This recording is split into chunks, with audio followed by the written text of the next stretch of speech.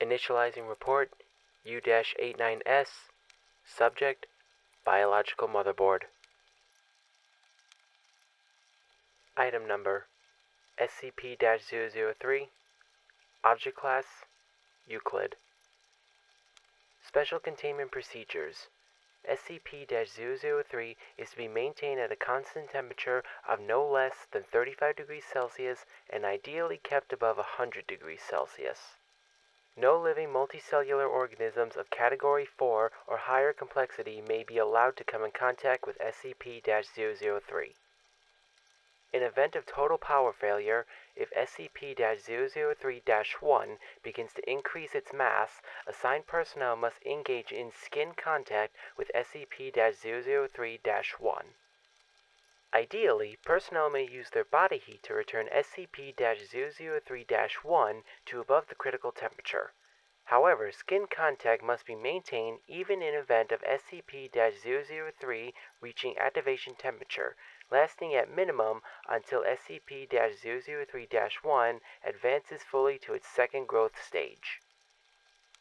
Personnel who enter SCP-003's containment area must first be examined for body parasites of Category 4 or higher complexity and sterilized if such organisms are present.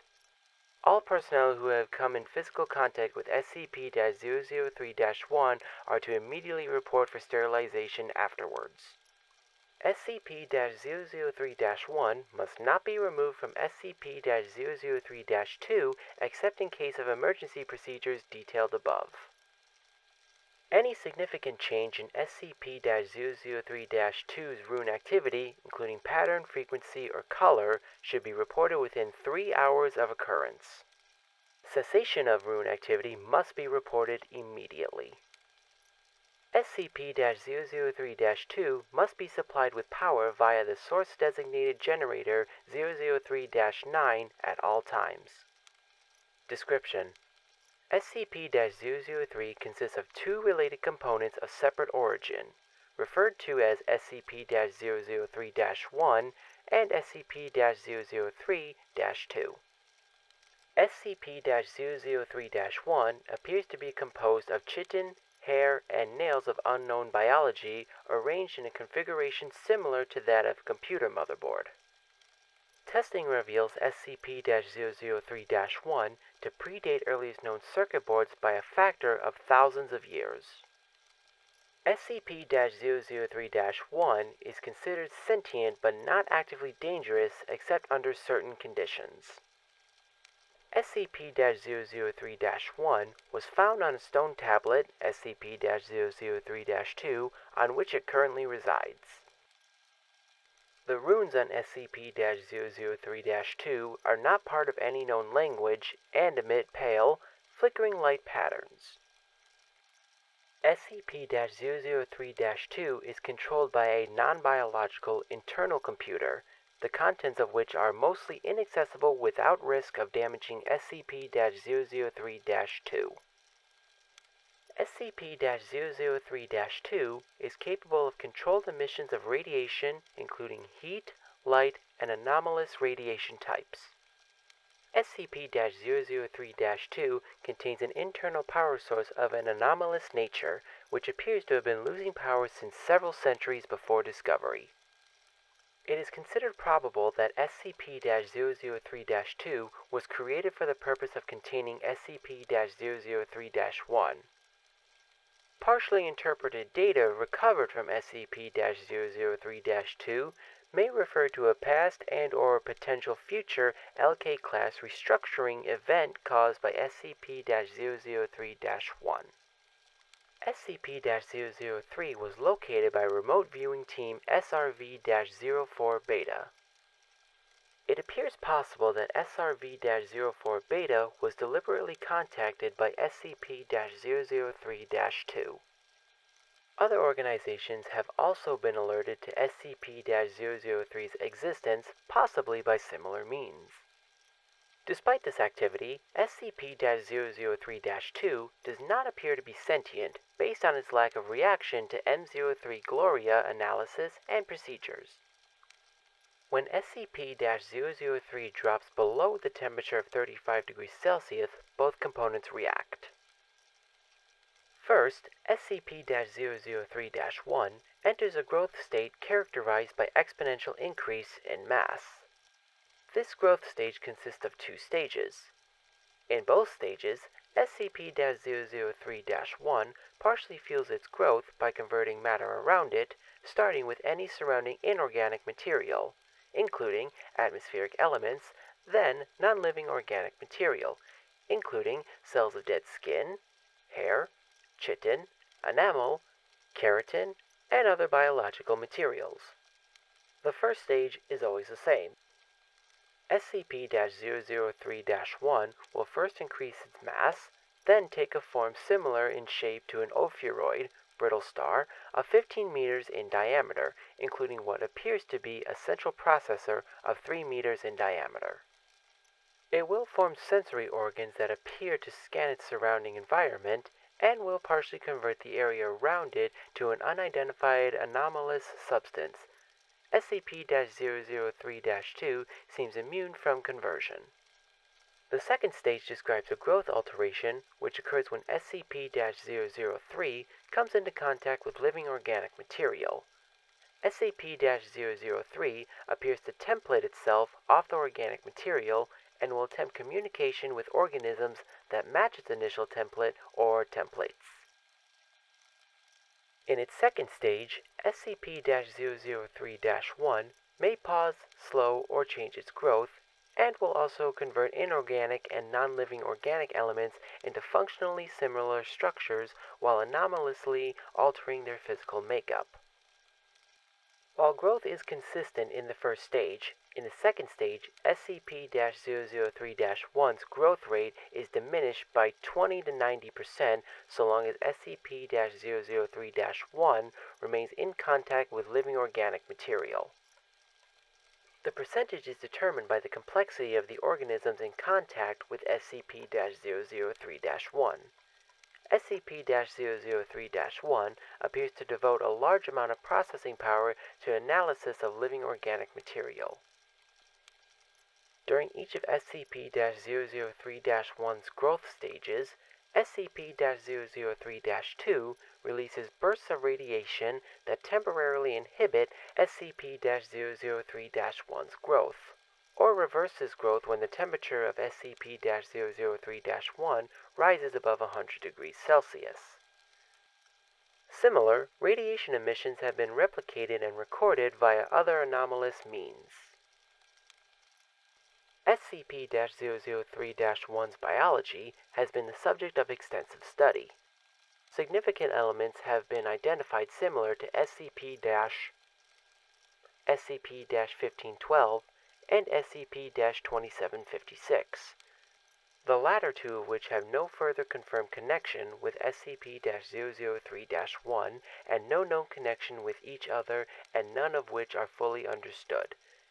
Technically, even less understood than SCP-003, thanks to the extent of cross-disciplinary research on the SCP-003 objects.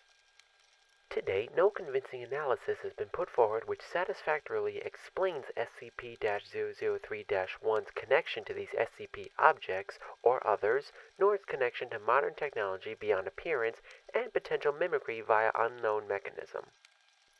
Addendum 003-01 Acting on information gathered from linguistic analysis of SCP-003-2's runes and comparative data analysis, research team M03 Gloria has managed to establish a link between SCP-003 and data removed for analysis of functions.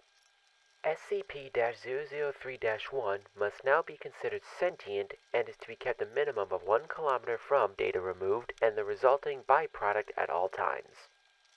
Addendum 003-02 SCP-003-2's power loss has been exacerbated by the procedures performed by M03 Gloria. On orders of O5-10, M03 Gloria will continue procedures. Addendum 003-03 During M03 Gloria procedures, SCP-003-1 doubled its mass, and began rapid structural growth. Temperature was immediately returned to 100 degrees Celsius. Growth and mass increase of SCP-003-1 continued for 9 minutes and 6 seconds, at which time a sustained radiation spike was produced by SCP-003-2. In response, SCP-003-1 returned to its normal state in 3 minutes and 39 seconds. New growth dissolved into a dusty residue which was collected for analysis. Both SCP-003-1 and SCP-003-2 ceased all detectable activity. SCP-003-2 did not resume activity until connected to an external power source. SCP-003-2's runes glowed uniformly gray and did not resume normal activity for three hours. SCP-003-2 no longer appears to be able to maintain containment area at a temperature above 35 degrees Celsius without external power supplied by generator 003-3 through 9. Addendum 003-4 The procedure detailed in Addendum 003-3 was repeated and SCP-003-1 again entered a growth state. After 10 minutes and 13 seconds, SCP-003-2 once again produced a sustained radiation spike. SCP-003-1's growth stopped for 36 seconds, then resumed at its previous pace. On quadrupling its mass, SCP-003-1 formed a coherent outer shell and body. After appearing to scan its environment and partially converting its environment, SCP-003-1 then breached containment, entering the observation gallery where nine members of M03 Gloria were present. On physical contact with team members, SCP-003-1 encompassed them in rapidly grown appendages and stopped growth for 15 minutes. SCP-003-1 then resumed growth and rearranged the component parts of the center of its form to the shape of a 3-meter tall female humanoid with peripheral tentacles shifting to extrude primarily from SCP-003-1's newly formed hair and spine. SCP-003-1 then produced rudimentary vocalizations in an apparent initial attempt to communicate with researchers. Further data removed. An unknown individual approached the compromised containment area in company of a full squad of agents. The individual claimed to be acting on orders of O5-10 and attempted communication with SCP-003-1. Further data removed. Following this incident, Agent Jackson of M03 Gloria successfully restored power to SCP-003-2 and activated backup generators to return the temperature to 100 degrees Celsius. SCP-003-1 returned to its normal state in 21 minutes and 7 seconds and was successfully recontained without incident. All nine members of M03 Gloria affected by SCP-003-1 were afterwards found to be physically unharmed, with no residual effects besides psychological trauma. The converted materials of SCP-003's former containment area did not dissolve and are now under analysis. Addendum 003-5 In light of the previous incident, O5-10 was removed from the O5 Council by joint decisions of O5-, O5-, and O5-. M03 Gloria procedures have been indefinitely suspended. Report U-89S terminated.